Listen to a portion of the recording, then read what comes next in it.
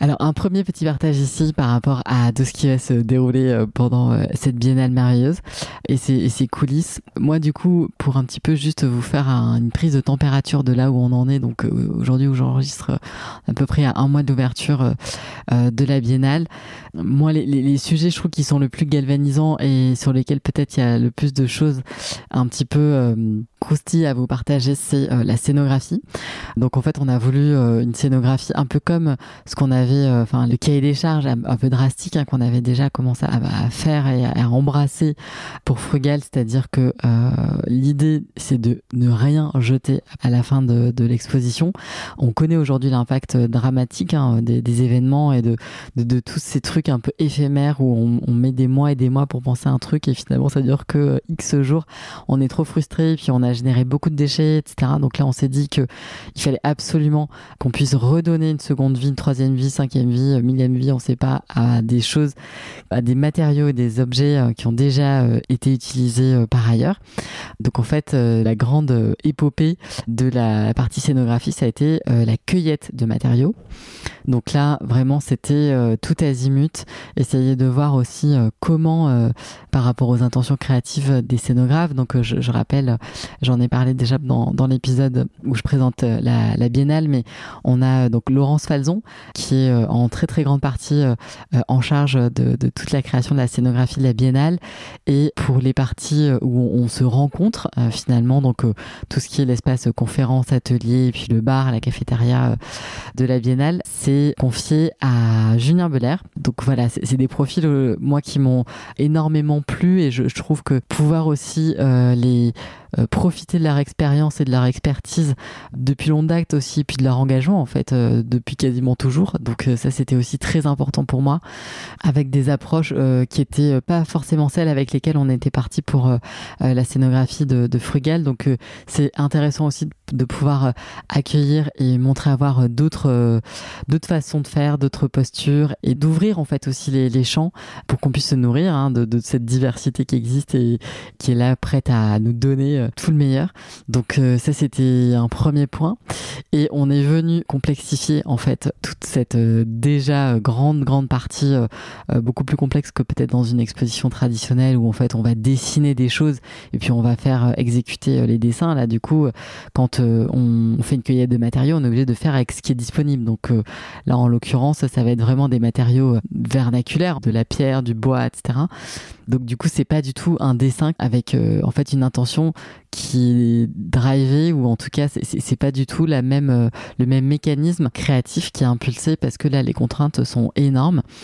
Et on a voulu aller en tout cas moi, moi j'ai voulu aussi euh, dans cette dans cette ambition de faire vivre des prises d'affect parce que c'est aussi ça en fait l'objectif d'une scénographie c'est de mettre en mesure en tout cas pour moi j'avais envie qu'on puisse être mis en mesure d'être en relation avec euh, les pièces et dans une relation qui soit intime et pas dans une relation de mise à distance, euh, comme parfois on peut avoir la, cette sensation euh, dans des galeries ou, quand on visite certaines expos dans des musées.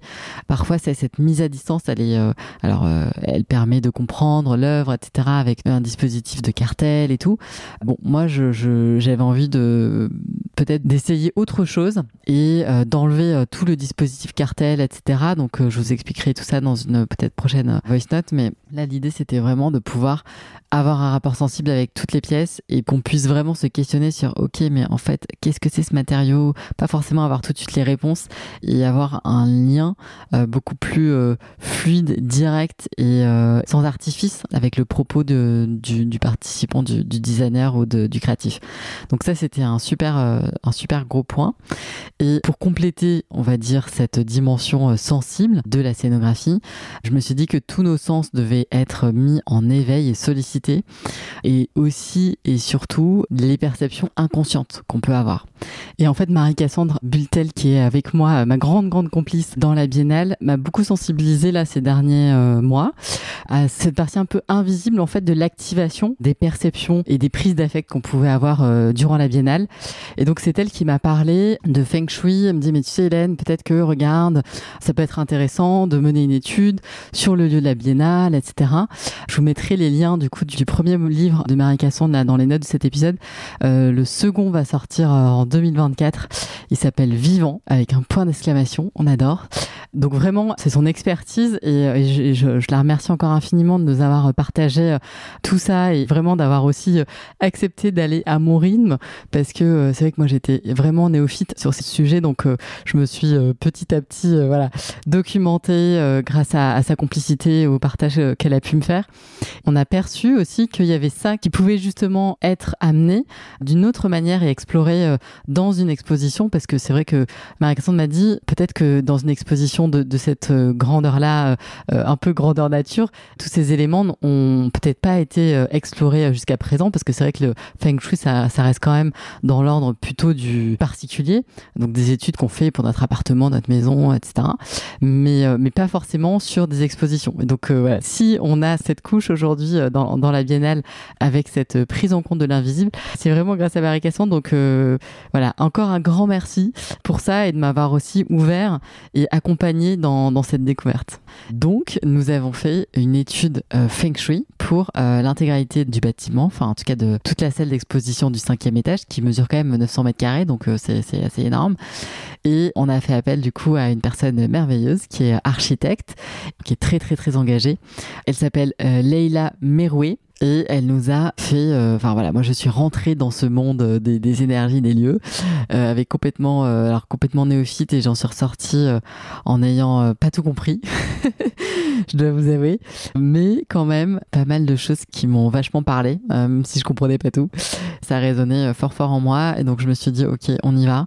Donc elle nous a fait une étude, c'était hyper en fait documenté avec des plans, des axes, des machins, enfin c'était vraiment on a eu une espèce de comme une bible qui nous a été livrée.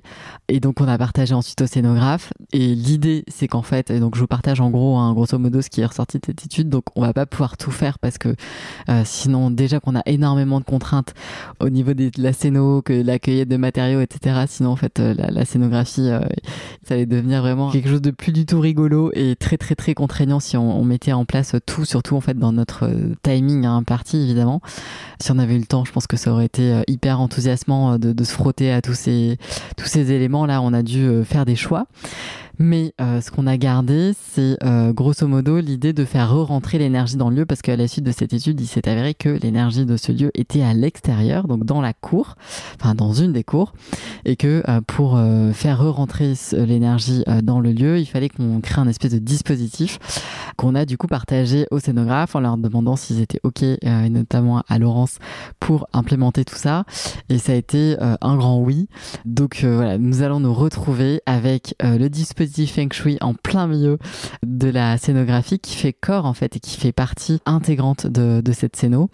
Et comment alors on a ramené l'énergie? Eh bien avec la création de, portes, euh, en fait ce qu'on appelle euh, en Feng Shui des portes lunes. Donc du coup, on a quatre portes-lunes euh, dans euh, l'exposition qui vont du coup euh, venir recréer, en tout cas repositionner l'énergie à l'intérieur et dispatcher du coup cette énergie de manière la plus harmonieuse possible. On a eu plein de recommandations ensuite où placer les objets de telle matière, les objets qui étaient plutôt en terre, les objets qui étaient plutôt en tout ce qui était bois, etc. à notre endroit. Bon, bref, donc à chaque fois, on avait des, des espèces de quartiers un petit peu pour faire les, les emplacements. C'est hyper, hyper hyper détaillé. En fait, moi, je le connaissais pas du tout et c'est euh, vraiment euh, incroyable parce que euh, bon, bah voilà, il y a, y a, tout un tas de choses qui nous échappent totalement. ce qui est quand même très très chouette dans l'étude qui nous a été livrée, c'est que finalement, le lieu en, lui seul, une fois l'énergie remis à l'intérieur, a des super bonnes vibes. Donc, on est super bien. Il n'y avait pas du tout de, de no-go d'endroits où on pouvait pas, enfin, où c'était très très pas bien, ou c'est voilà. Donc, donc ça, c'est vraiment super. On a été vachement aidé, je pense aussi euh, là-dessus. Ça a été une belle surprise euh, de voir euh, que le lieu vibrait aussi un petit peu déjà ce qu'on avait envie d'y mettre. donc ça, c'était cool. Et donc du coup, en fait, ces portes vont venir euh, séquencer et dynamiser le parcours, enfin votre parcours en fait, le parcours euh, visiteur, qui devait aussi ces portes s'intégrer avec euh, l'architecture du lieu, hein, qui est déjà ultra ultra imposante, qui se suffit à elle-même. Donc au début, on s'est dit ah mais on va venir casser quelque chose, etc. Et finalement, je pense qu'on va augmenter et rendre encore plus puissant la déambulation dans, dans, dans, ce lieu. Donc voilà, on a hâte de, de vous montrer tout ça en vrai. A du coup décidé aussi de pouvoir euh, quelque part documenter en fait les effets euh, de, tout ça. Donc euh, nous, on, a on constitué une petite équipe de cobayes qui a visité donc le lieu avant cette installation. On a on leur a fait du coup répondre à certaines perceptions, etc. Et donc on verra quelles sont les perceptions et comment est-ce que la sensation dans ce lieu est-elle différente une fois que le dispositif Feng Shui sera posé. on verra. Après, il y avait plein d'autres recommandations, notamment le sens de circulation, avec euh, l'idée de finalement essayer le plus possible de reproduire le sens en fait de la spirale de Fibonacci. À l'unanimité, pour le coup, on a décidé de prendre le parti pris de pas aller dans ce sens-là parce que euh, naturellement, en fait, nous tous, quand on était arrivés dans ce lieu, on commençait par euh, l'autre côté, en fait, vers le sens complètement inverse. Donc on s'est dit bon, tant pis, on va on va suivre aussi nous notre intuition parce que peut-être qu'on n'en est pas forcément là où euh, voilà euh, où cette harmonie euh, pure d'énergie nous demande d'aller. On, on, fait avec qui on est aujourd'hui et ce qu'on ressent et ça c'est la priorité. Donc voilà, on a un sens qui inverse à cette cette spirale, mais du coup c'est ok.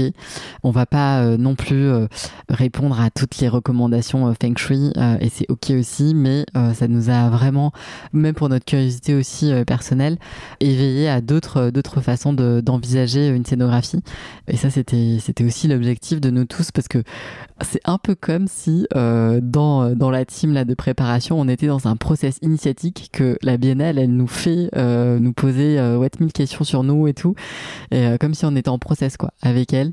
Et donc, il y a des choses qu'on prend et des choses qu'on prend pas. Et, et c'est voilà. Et heureusement qu'on se laisse évidemment cette grande latitude de voir ce qui fait sens aujourd'hui et ce qui fera peut-être ce qui résonnera davantage ou ce qui, ce qui sera ok peut-être à la Biennale d'après ou celle encore d'après. Voilà. Il n'y a pas de règle en fait. Donc euh, c'est juste des propositions, ça résonne, ça résonne pas, on prend, on prend pas, et puis, euh, puis voilà. Je vous embrasse et euh, la suite du coup des prochaines coulisses très bientôt.